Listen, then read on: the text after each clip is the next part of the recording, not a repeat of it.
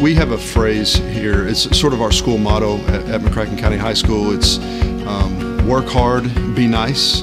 We believe that those two characteristics can take you farther in the world sometimes than uh, physics. And so it's important not only to give kids academic skills, but to also give them character. An example of that would be our trip that we're sending students on to El Salvador to go serve other people, to, to learn what it's like to be selfless, to learn what it's like to give of your time, your effort, your talents, to raise money, to do things that benefit someone else while removing yourself from the picture. Before I went down to El Salvador, I was in my senior year and it just kind of leveled my head. And I feel like it was kind of like a turning point in my life. Whenever you're out feeding the homeless and you see people, they're just so excited to get like a sandwich and a bag of chips.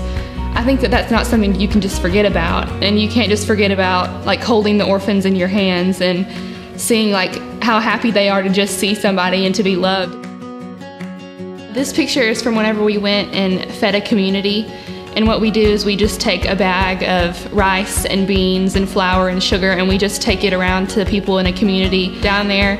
They're just so thankful to see us and to have food that they didn't know where it was going to come from.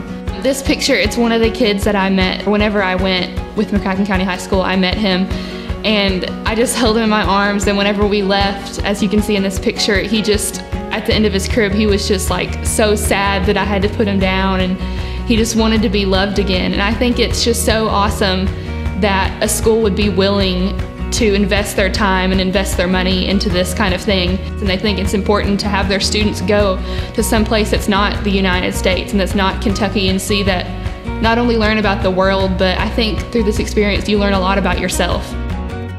We also have students that are currently making dresses and so the students that we have making these dresses are making them specifically so that these little girls in the orphanages can receive these dresses and feel special, feel like somebody. It brings them a little piece of humanity uh, back to them um, and, and, and, they feel like little girls are supposed to feel.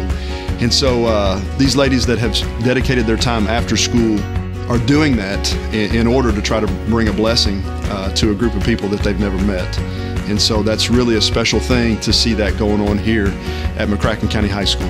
And, and I think that's one of the things is, as a principal here, when I get to see that, um, I know that, that we're making an impact and not only building academic skills in kids, but really building character and, uh, and allowing them to flourish and, and grow and, and develop those opportunities of contributing to society.